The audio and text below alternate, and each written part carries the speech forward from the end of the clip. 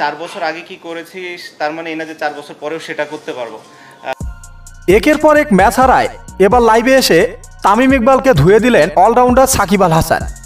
দর্শক, Bangladesh premier league বিপিএলে সিলেট পর্বে নিজেদের প্রথম ম্যাচে মাঠে নেমেছিল ফরচুন বরিশাল ও চট্টগ্রাম চ্যালেঞ্জার্স।